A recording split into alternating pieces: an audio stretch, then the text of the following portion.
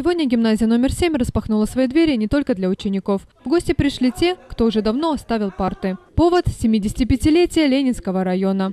Ленинский район сегодня – это 9712 предприятий. Ленинский район – это сегодня больше 300 дошкольников и более 11 тысяч учащихся средних школ.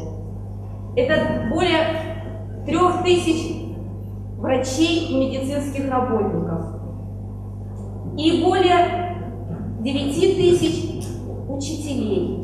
На встрече с учениками гимназии приглашенные почетные граждане Ленинского района ответили на разнообразные вопросы школьников. В частности, среди гостей была и бывшая учительница гимназии, которая стала депутатом горсовета. Учеников заинтересовало, как Татьяна Ульянова решилась на такой шаг. Нам было интересно, а, как а, ну, развивается а, учитель, который был раньше у нас, какова сфера деятельности его сегодня. Гимназия номер 7 носит имя Героя Советского Союза Виктора Ивановича Великого. Ученики школы гордятся этим. Под его руководством проведено 30 э, э, или даже больше десантов на Черном море и Дунае. И также у него есть слова, которые знает чуть ли не каждый учащийся нашей школы. Это «служить Родине хорошо, плохо нельзя».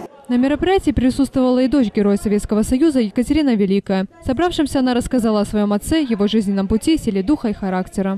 Ребята будут задавать мне вопросы о жизни моего отца. И я хочу рассказать э, не о его э, боевом и военном прошлом, а о том, как в жизни каждого человека э, случаются э, такие моменты, когда э, может жизнь взять за горло. И как один человек э, упадет скатится вниз на дно жизни, а другой встанет в полный рост. На мероприятии учеников школы проверили на знание памятных и значимых мест Ленинского района. Прозвучали песни, стихи. А также был исполнен гимн родного центрального района.